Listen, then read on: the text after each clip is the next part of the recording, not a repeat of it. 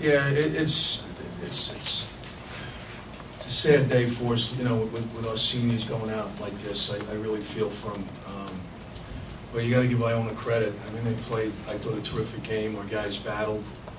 Uh, every time we made a run, they hit two or three threes, I thought, you know, our, our, I thought we were a little slow to loose balls, I mean, you know, may have been last night's game, we just didn't have, I don't think our legs like we should. To play a team like this, you gotta be on, on full tilt the way they're playing. And, um, you know, our guys battled, you know, they battled all year, Uh, they- they've accomplished a lot. Uh, The two guys sitting next to me, Clarence and Ryan, will go down as being part of, you know, some of the greatest teams at Siena.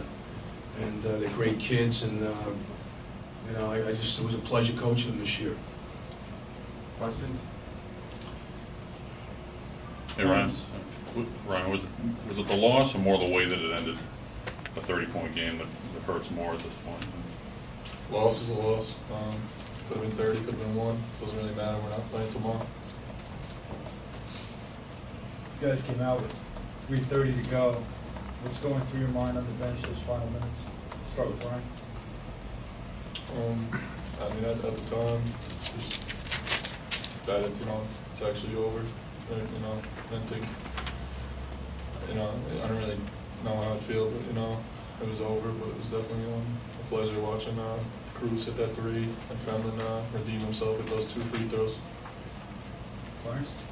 um, just keep fighting. Um, you know, we had nothing to hang our heads for. Um, and, you know, you know, it's unfortunate that we go out this way, but, you know, our, our guys continue to fight. And, you know, like Ryan said, when Cruz hit that three, you know, just stood up and kept clapping. Did you feel like the Manhattan game took its toll at all in the second half of this game, uh, I just think, like Coach said, you know, we, we kind of just, you know, let down a little bit. Um, you know, we had them going for the first half, and then I think we kind of just, you know, we just kind of got lost, and they were hitting every shot, so it's kind of hard to win a game like that, and especially turning it over as well. Clarence, it was still a ball game early in the second half, and they scored thirteen straight during that stretch.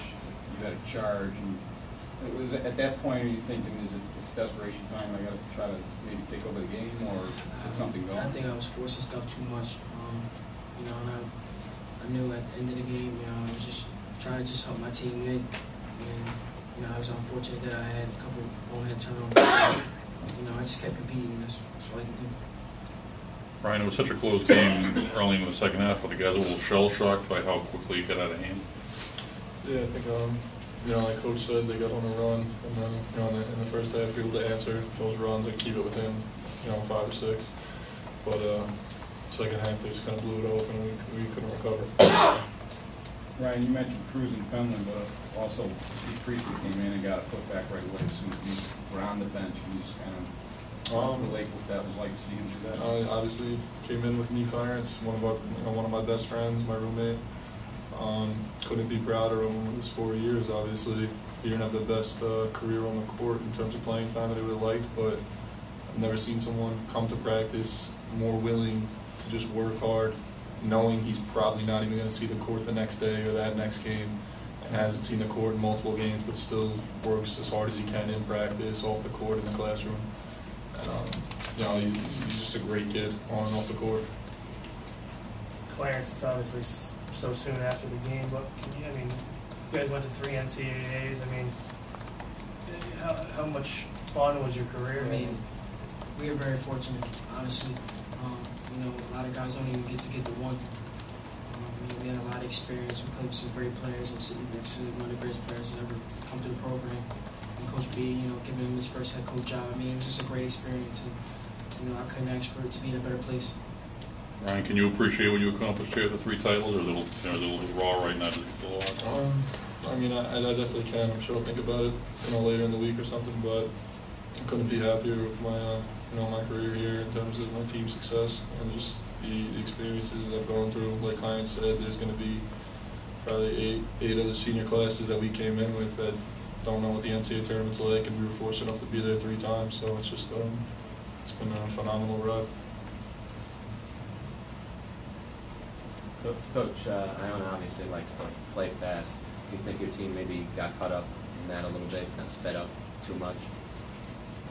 excuse me, playing I Iona likes to play at a high, fast tempo. Yeah. Do you think your team maybe got caught up in that, playing that style? Well, you know, yeah, probably. I mean, we took some, some shots that probably were quick, you know, that we we probably should have had a little more patience, but, uh, you know, I, I didn't think we played that much faster. You know, I thought, I thought Iona just played really, really well. And they just, all aspects of the game. I mean, when Machado and Glover are clicking like that, it's tough. Two great players. One more question? Anyone?